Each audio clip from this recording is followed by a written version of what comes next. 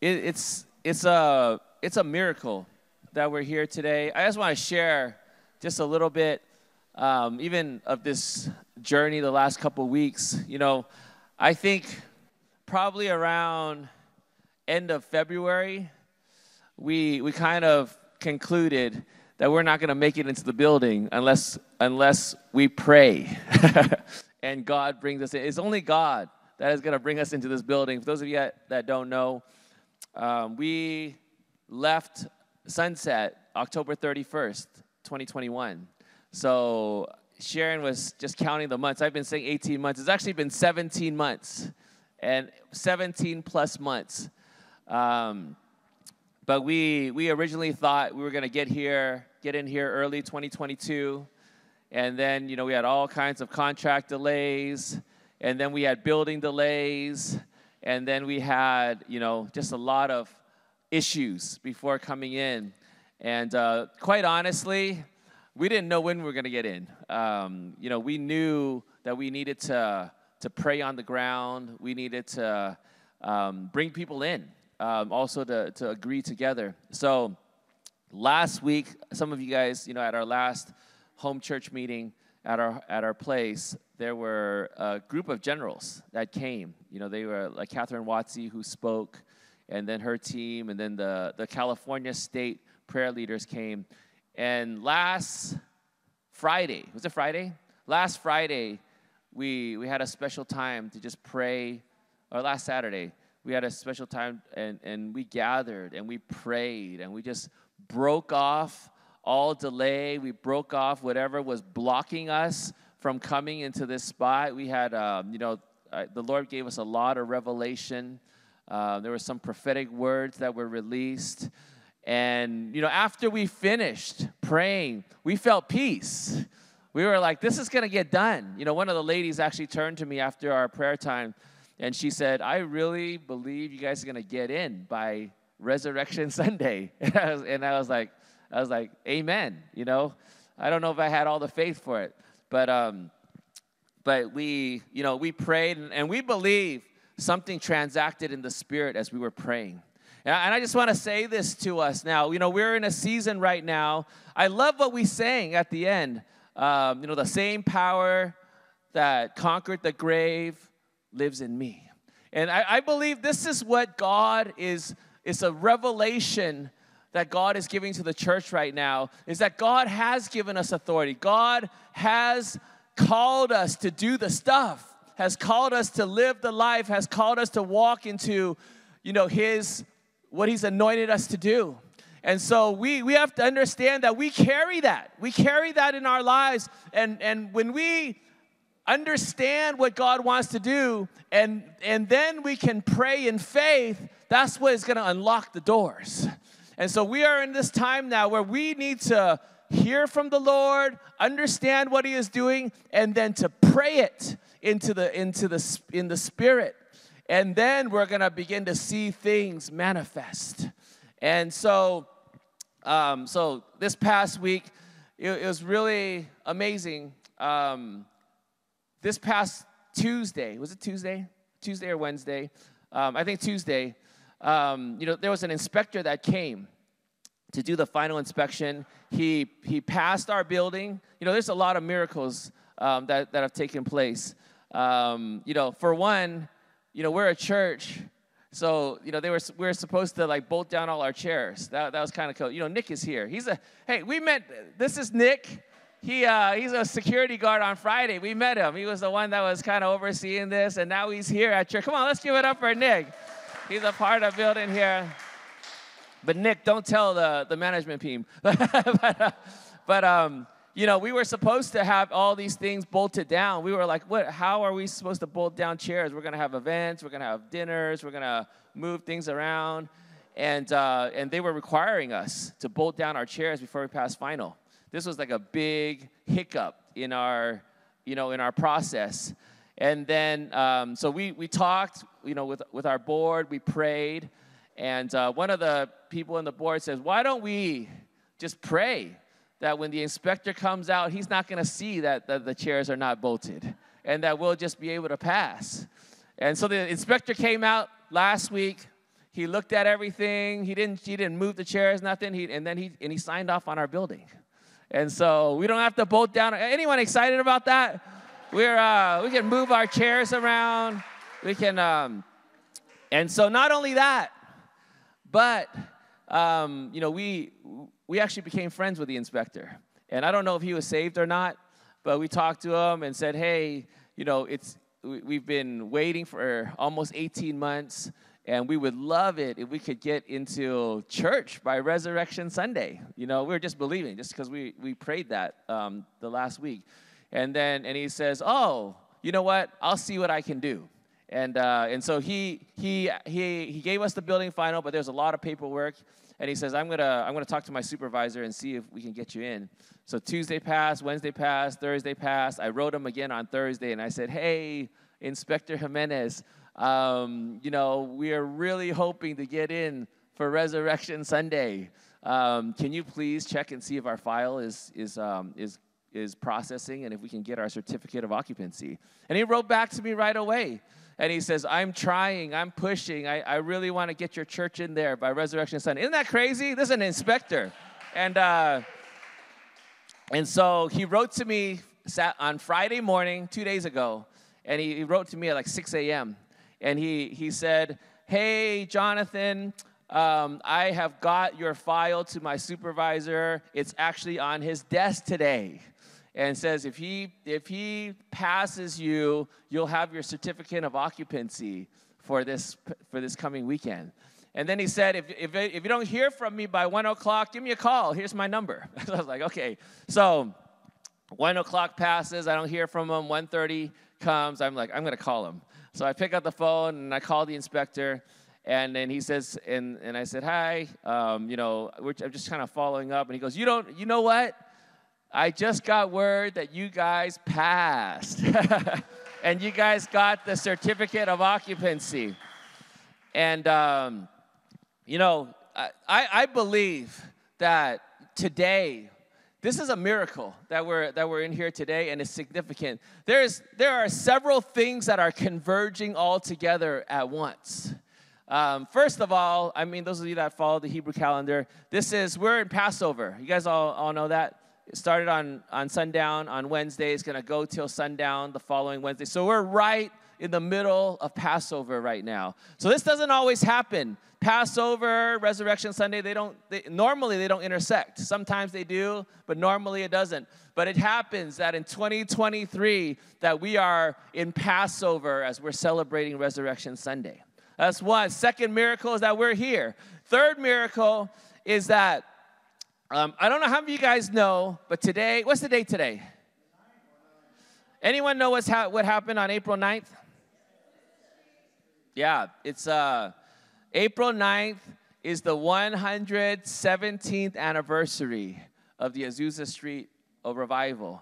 And, and this is, some of you guys might not know the story, but back in 2005, we got a prophetic word that we were supposed to go as close as we can to the well of Azusa Street, which is in downtown L- LA. It's like on Second Street and San Pedro. That's where that's where revival um, not, it didn't break out. It broke out of the Bonnie Brae house, but then revival went for, for many, many years in a little house on Azusa Street, right there. And so we, starting in 2005, went down there. We started a house of prayer, and we, um, you know, we prayed 24/7 there for for over a year, and then we had the house of prayer for another six years, and we prayed for revival. We prayed that God would move again like he did in 1906 when God saved. I think the, the statistics are 700 million people now. And, uh, and the beginning of the Pentecostal charismatic movement that, that has reached and touched the world. And so we prayed for revival. We were on the site where God, where we prayed so many times God, do it again. God, release another Azusa Street revival again in our generation. And isn't it interesting that on April the 9th, here, as we're re- celebrating the 117th anniversary of Azusa Street. We're miraculously in this new building on Resurrection Day, right in the middle of Passover. You, you can't make this stuff up. This is, you know, we believe this is God ordained, and, and um, and like I, we were mentioning, this number 17, 17 is the number of breakthrough. And yes, the 117th year of Azusa Street. And we, you know, it's 17 months since we were at Sunset Strip. And there's been a breakthrough. And I believe, I believe that this breakthrough is for the body of Christ. This breakthrough is for you. This breakthrough is for our community. And you know, today, as you know, or this week, as I've been just with the Lord, the Lord spoke to me and said that this year, with everything, this was before that we knew we were going to get into the building and, and all this uh, all this convergence. The Lord spoke to me and says, this year in 2023, we are walking through a literal Passover. We are walking through Passover right now. It's not like, you know, it's not like a few thousand years ago you know, when, when the Israelites crossed over the Red Sea and, and left slavery. It's not like 2,000 years ago when Jesus was crucified for us and rose from the dead, which we're celebrating today. But today is actually another literal resurrection, another literal Passover that the body of Christ is walking into. And, I, and we sang that song. This is, the, this is the whole Bible. It's like, you know, when, when we're young and we're reading the Bible, these are not just stories, but these are, this is for today. It's for our life. It's for the power that we see in Scripture is available to us. That's what we just sang about, right? And I believe that this Passover, that we this Passover season that we're in, we are literally walking into the anointing of Passovers, seasons, years past.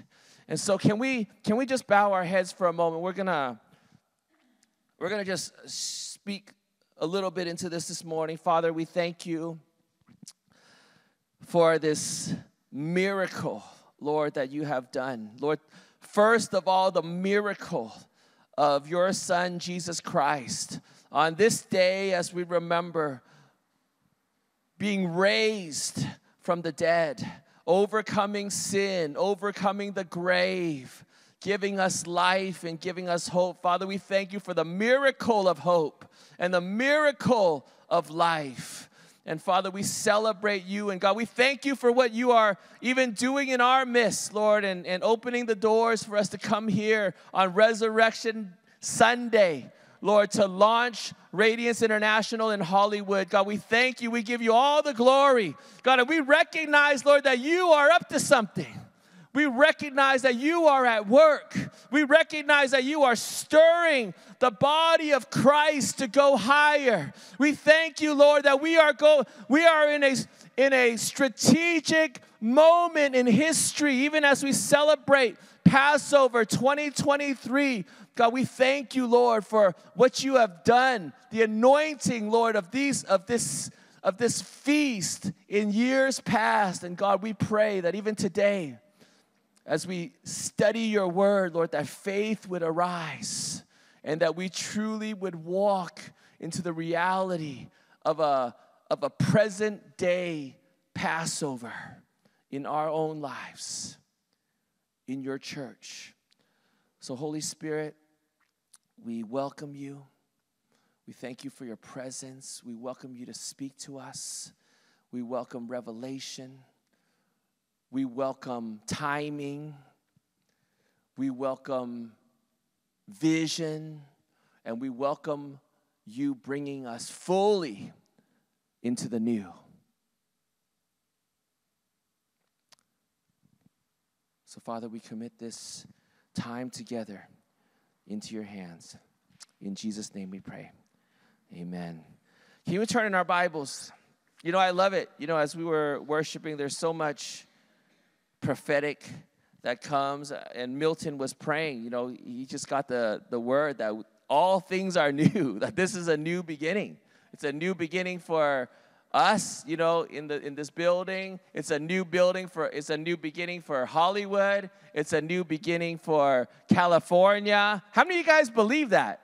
That we're in a that something is changing, something is different, something is shifting. You know, even even yesterday, you know, I just want to thank uh, th- you, those of you, you guys know who you are, but there was about 20 people that came out yesterday, and we went from moving out of two storages and cleaning this whole place up, and then and then erecting the whole privacy. Who did the privacy fence? Let's just see your hand.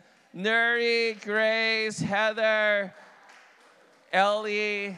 I mean, they did such an amazing job. And, and in one day, this place got transformed.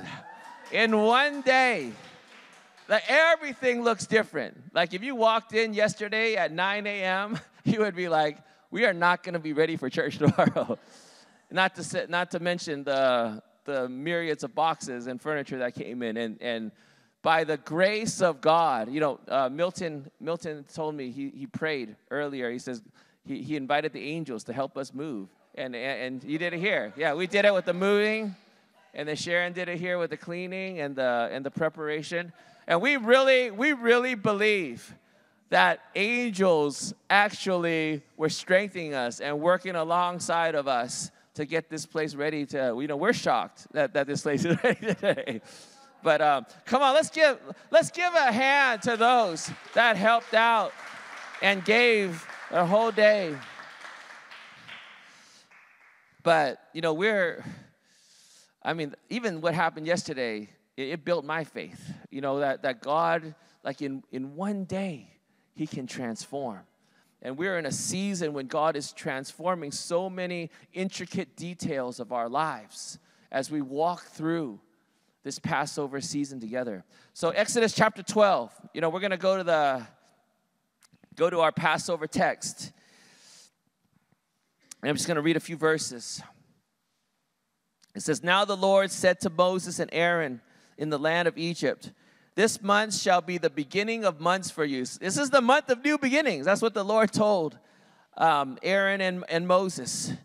And it is to be the first month of the year to you. Speak to all the congregation of Israel, saying, On the tenth of this month, they are each one to take a lamb for themselves, according to their father's household, a lamb for each household. And then um, the passage goes on. It shares about how they're supposed to gather the lamb, how old they're supposed to be, how they're supposed to prepare the lamb, and, and, and share with the Israelites that they're supposed to have a Passover supper.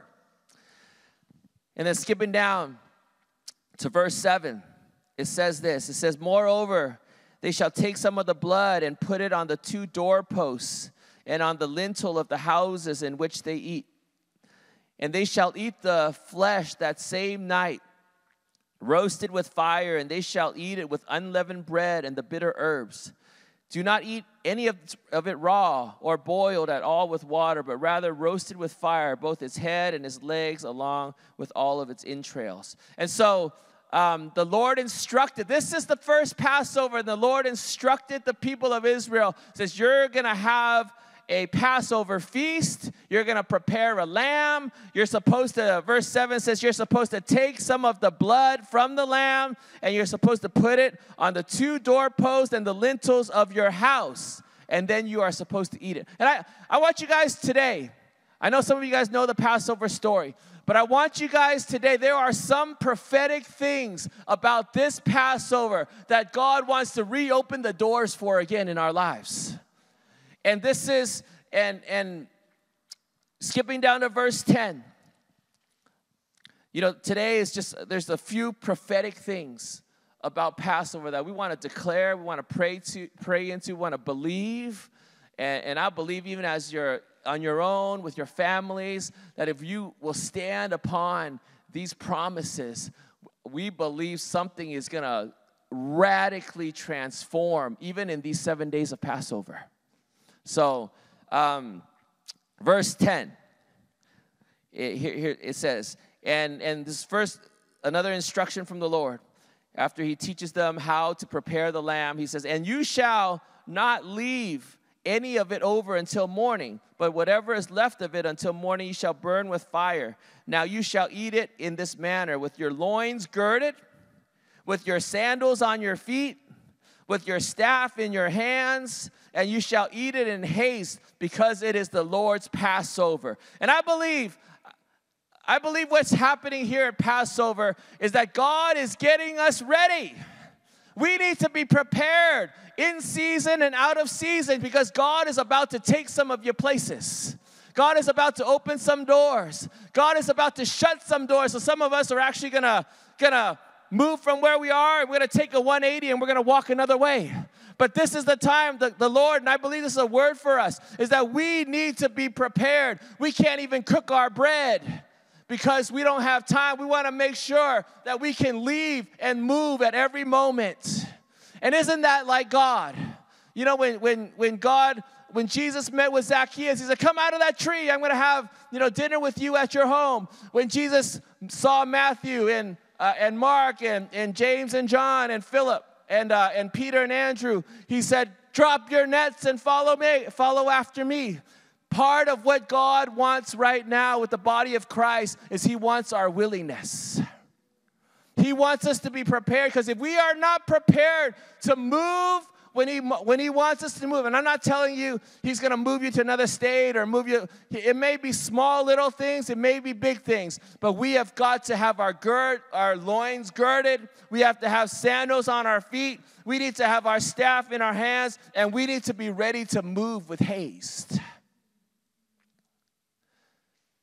It's uh, the only way we are able to do that is if we yield. You know, we, we, we look at those examples of when Jesus called his disciples, but we also look at some, someone like the rich young ruler. You know, he also met Jesus and he, you know, he, he, he probably sat under his teaching, saw him work, do miracles.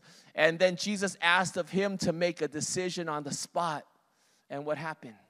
The rich young ruler wasn't ready and he and and and he left and he and, and he missed what god had for his life because he wasn't ready and i, I just want to say that in this passover season there is an acceleration that is happening and there is going to be things that we are going to that, that we are going to experience that is going to require us to yield quickly to the lord it may be radical it may be life changing. It may be, it may, it may change the direction of where we're going. But if we will hear God and if we'll yield to Him, He will lead us to where we are to go. Amen. Second, verse 12, reading on. And the Lord says, For I will go through the land of Egypt on that night, and I will strike down all the firstborn in the land of Egypt. You guys all know the story. There were nine plagues that came before. You know, we actually quizzed our kids. How many of you guys, can we do this? How many of you guys can name the nine plagues that came before? Anyone to give it a, or you don't have to, just shout it out. Okay, we'll see if we can get all nine. Locusts, frogs, gnats, darkness, boils, blood, blood on the in the in the water, hail. That's um that's seven. No, that's eight. Okay. You're missing one. That's the last one. What were the first nine? I mean, the last one is is the tenth one, but we we got nine. We got water to blood. We got the frog. Did we say frogs? Okay, yeah, frogs, um, gnats, flies, boils, hail, locusts, darkness. We're missing one. That was the tenth one. Uh, there's nine, nine more. Livestock. Yep. The pestilence on life. Good job. Good job. I knew. I knew this. Uh, so you know there were nine. The nine plagues, and then in verse twelve, it says, For we will go through the land of Egypt on that night and, and will strike down all the firstborn in the land of Egypt, both man and beast, and against all the gods of Egypt I will execute judgments. I am the Lord. And then verse 13, it says, The blood shall be a sign for you on the houses where you live. And when I see the blood, I will pass over you, and no plague will befall you to destroy you when I strike the land of Egypt. And I just want to say this we are, you know, even last week when Catherine, I think it's okay to share it because I think she shared it too. But, um, you know, with when, when we went through LA and we were praying and, and just really uprooting a lot of the structures, um, you know, in the, in the land, the, the Lord showed the team that the big earthquake that has, you know, that many people have predicted, um, the Lord showed them that it's coming, that we're going to have a huge shaking in, in California. And so, first thing that we did this week is we, we checked up on our, on our earthquake insurance. and we uh, made sure that we were up to date. And we weren't. And we, and we got up to date. Um, but here it says, as we're going through this Passover, you know, the, the nine plagues that struck all of Egypt, it did not touch the people of Israel. It did not touch the children of Israel. They were, they were, they were in Goshen. They were spared. That all the things, you know, that, that the Egyptians had to endure, none of God's people had to endure. And, and, and here in verse 13, it says, you need to put blood on your, on your doorpost, two doorposts and the lintels of your house. And when the Lord sees that, he will pass over you, and no plague will befall, you to destroy you when I strike the land of Egypt. And I just want to say something. As the body of Christ, we need to prepare ourselves. We need to literally pray over the doorposts and the lintels of our homes and our, and our possessions and our assets. You know, this, um, I, I don't know, I w- I didn't even talk to, to Sharon about this, but um, on Wednesday morning, Sharon got up, she gathered our family together, and she said, Today we're gonna have a Passover meal. and we're gonna we're gonna do Passover at our home. And I was like, whoa, that, that's so in line with you know what was what the Lord was speaking to, to me about. And so she cooked an incredible meal. Um, so we ate, and then our and then our family. This is the first time we've ever done this as a family, but we we we ate our meal, and then we you know we bought kale, kale, and uh, and we and we literally we applied the blood of Jesus. We went to every single doorpost of uh, you know our front door, our back door, our side door with the sliding door, and then the kids went to every single window in their rooms, and we all did the family room together, living room together, the office together. And we just declared the blood of Jesus. And it was so powerful. You know, after we'd finished, um, you know, we, we even had a prayer time, and even Elijah had a word, and he, prof- and he, and he, and he prayed it over at a family. And, uh, and so, and so we, you know, this, it was, uh, it was so powerful. And I, I just want to say something. As the body of Christ, we're not in fear. You know, we believe whatever is going to come, whatever is going to shake, that it is not supposed to touch the body of Christ. But we need to put the blood over our lintels. We, we, uh, I thought we were literally going to do grape juice, but go, no, we're not going to do it. We're just going to apply the, the blood. We're going to pray the blood, and we're going to use the kale, and we're just going to apply it over. And, and we do that. We take authority. And so I want to encourage us you know, in this, we don't know what God's gonna do. We don't know the timing. We, we, we really believe that things are gonna shake. We are, things are shaking in our, in our nation right now. And for us to, to apply the blood and to, and, to, and to pray for God's protection in this season. So, for those of you that own homes or wherever you're living, um, Passover is till Wednesday, sundown. Encourage you guys to, to just apply the blood of Jesus over every window, every doorway. Um, amen. Third, you skip on down. Verse 35. You know, so we know the story. Um, you know, the the angels came and the firstborn was struck, and every firstborn of Egypt um, died. It was a it, was a, a crazy crazy day in Egypt. Um, and then Pharaoh said, Hey, you know, we don't want you guys here anymore. Get out of here. like, you know, um, so fast forward, verse 35. I want you guys to catch this because this is all a part of what the Lord is doing right now. Okay? Verse 35, it says, Now the sons of Israel had done according to the word of Moses.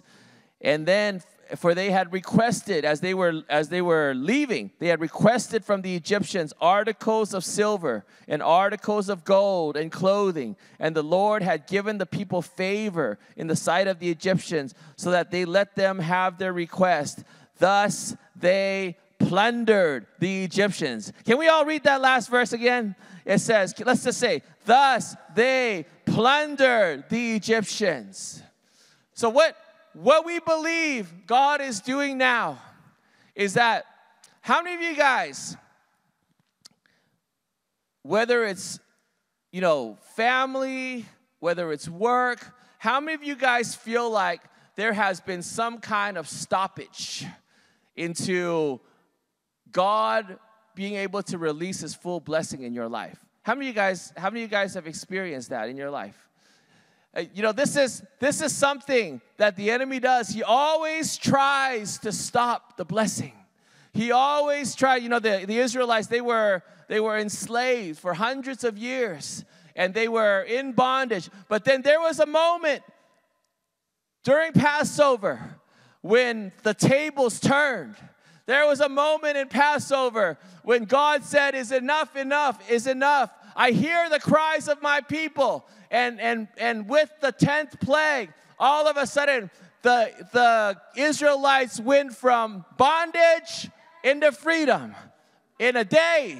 They went from bondage into freedom. And not only that, but in a day, they went from, you know, running for their lives into obtaining all that had been stuck, all that had been stopped, all that had been blocked and, and, and they left their place of Egypt with all the plunder and all the gold and all the articles of clothing that were due to them.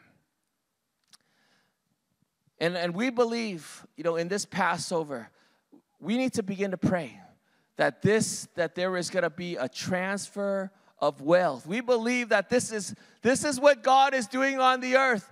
All of this that is happening right now is not a coincidence. We are literally going through a time to contend for a transfer of wealth and a transfer from what has been holding, you know, the enemy that has been holding what has belonged to the body of Christ, that it would be released and it would turn and flip in a moment.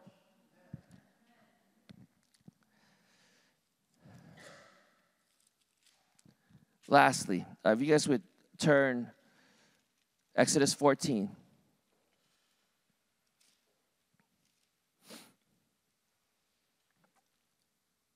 Verse 26. Or let's start, let's start with uh, verse 21. And we know the story. You know, after the plague, the Israelites were free. And so they they they took they took off. And then they and then they hit the Red Sea. In verse 21, it says, Then Moses stretched out his hand over the sea, and the Lord swept the sea back by a strong east wind all night and turned the sea into dry land, one of the most incredible miracles in Scripture. So the waters were divided, and the sons of Israel went through the midst of the sea on the dry land, and the waters were like a wall to them on their right hand and on their left. Can you guys imagine that?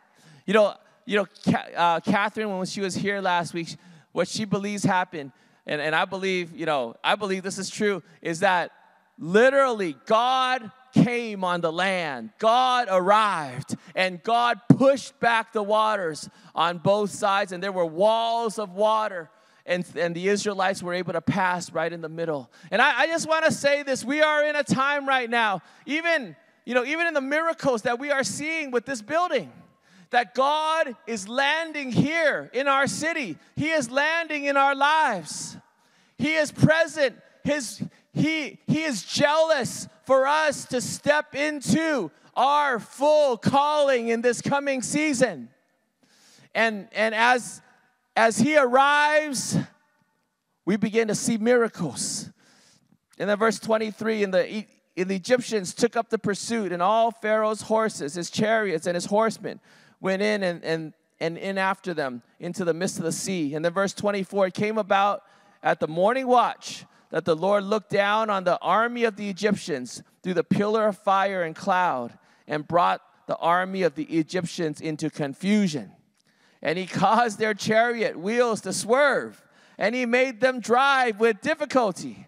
And so the Egyptians said, Let us flee from Israel, for the Lord is fighting for them against the Egyptians. The enemy knew that God was fighting for the Israelites.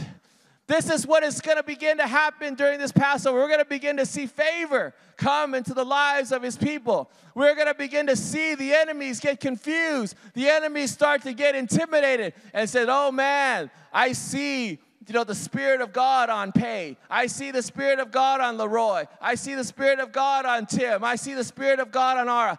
And, and, and they're going to begin to say, man, I, I, I fear, I fear God and I fear God's people.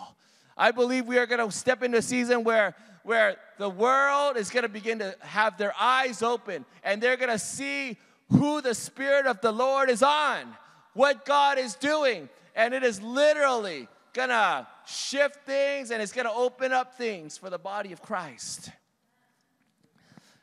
And so, and so the Egyptians are, you know, they're like, they're like starting to try to run away because they recognize that God is fighting for his people. And then verse 26 Then the Lord said to Moses, Stretch out your hand again over the sea, so that the waters may come back over the Egyptians, over their chariots, and over their horsemen.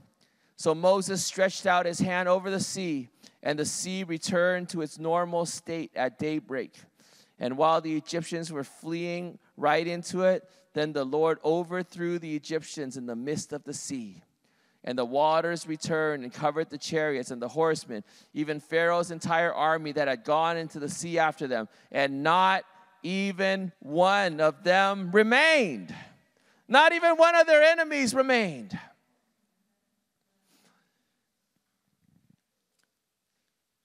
So today, you know, I, I, believe we are we are on the brink of a major shift in, you know, it is 2023. There's something very significant about this Passover season. And that we are we are in the middle of the of this transaction. So, can, can we just bow our heads for a moment?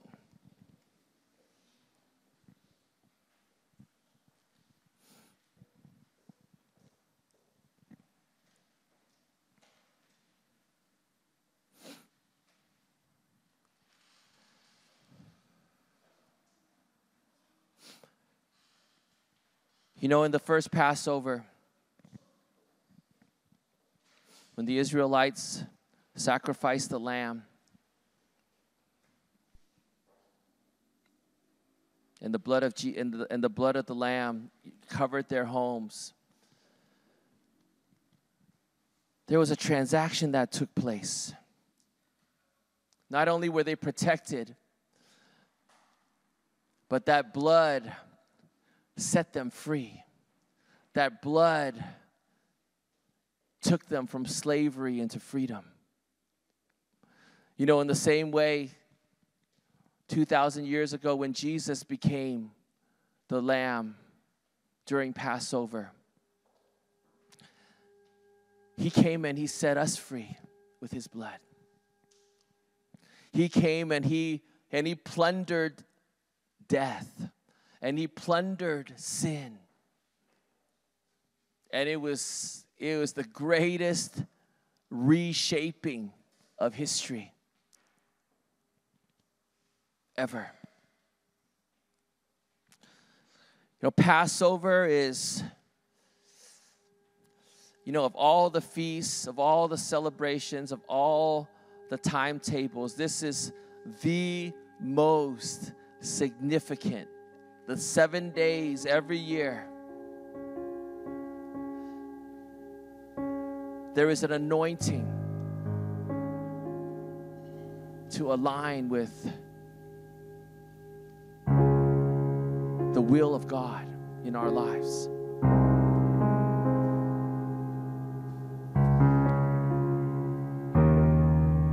And this morning, I want us to ch- just take a, a minute we're going to do something together. We're going to take communion together.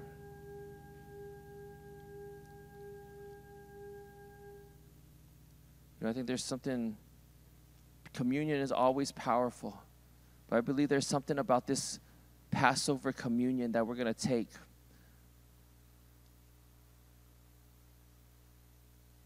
That is really going to begin to prepare us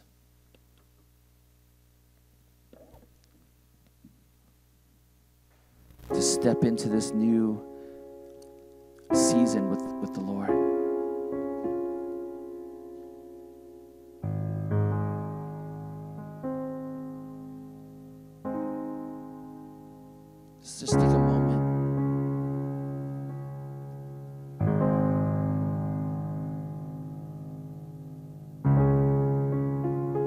Of us have been have been waiting, have been praying, have been watching to see what God is going to do. I feel like today, God wants us to, even as we're taking this communion, it's like, Lord, remember your sacrifice. We remember what you've done for us on the cross. And we celebrate your victory. We celebrate that because of your resurrection over death, you have made all things possible for your children.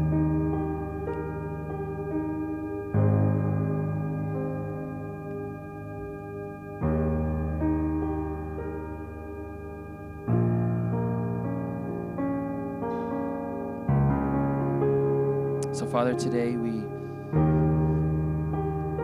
we come before your table. Just as the disciples did, along with you, Jesus, in your final supper.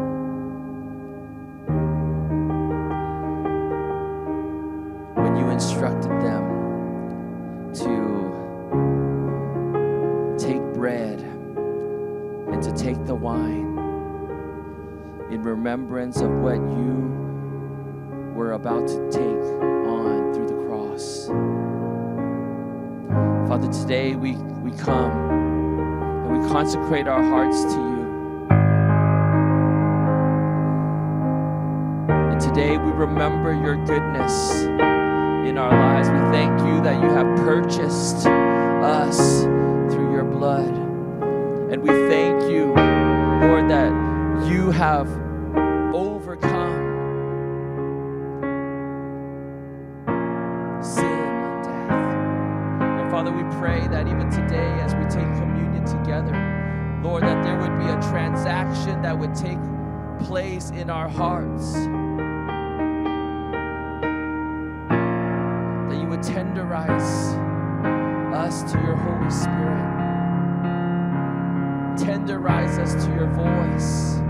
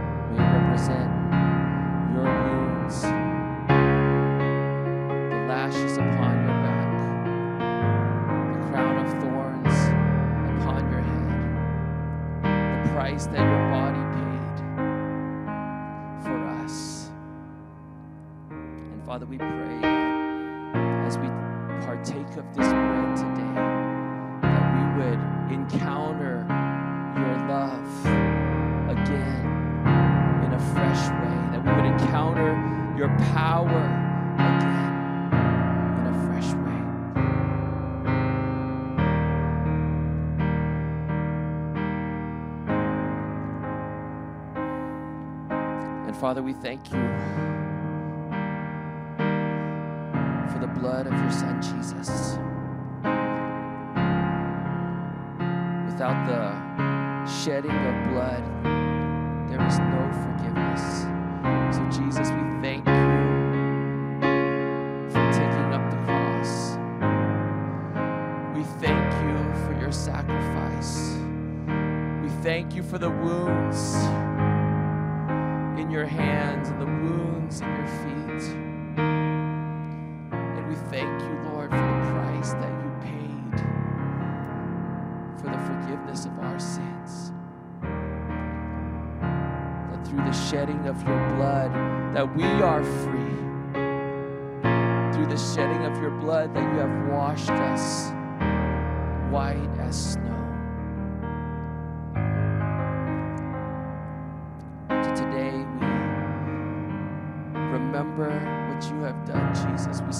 Celebrate you as the King. We celebrate you as the one that has overcome. We celebrate you as the one that has victory over sin, over death, and over this world. And Father, today, Lord, even as we take this communion, Father, we, we just pray, Lord, that you would seat us, Lord, with your Son, Jesus.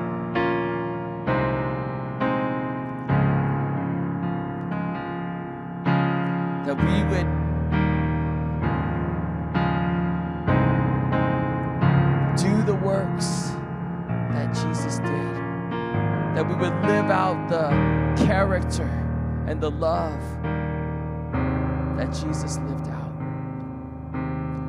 So, Father, we consecrate this time to you.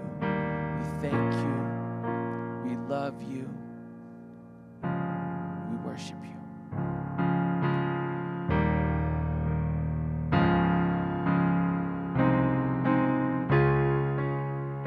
You know, we're going to worship um, as we take communion. And we're going to do it a little differently today.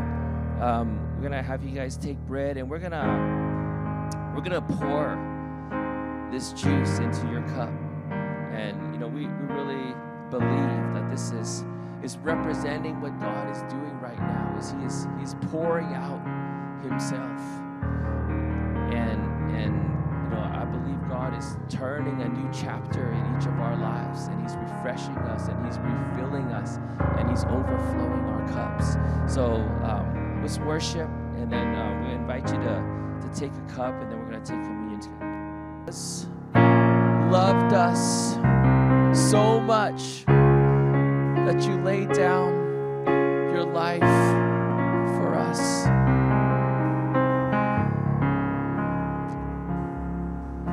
Jesus, we say we're so grateful. We're so grateful for your love. We're so grateful that you are the, the ultimate Passover, the lamb that was sacrificed for the sins of this world.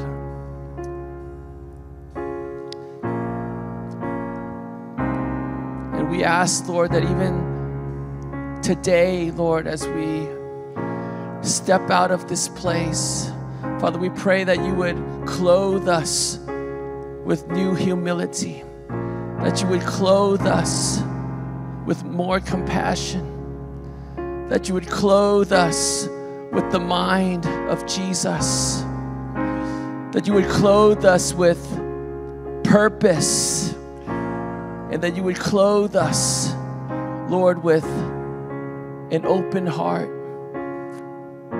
and a full surrender to your purposes. Jesus, you have paid it all. Jesus, you have made a way with your life. And we want to live our lives to the full for you. So, Jesus, we thank you. We thank you for what you've done. And we thank you, Lord, for this day when we celebrate your victory. You truly have risen. You truly have won. You truly are the King of kings. We give you all the glory. In Jesus' name we pray. Amen.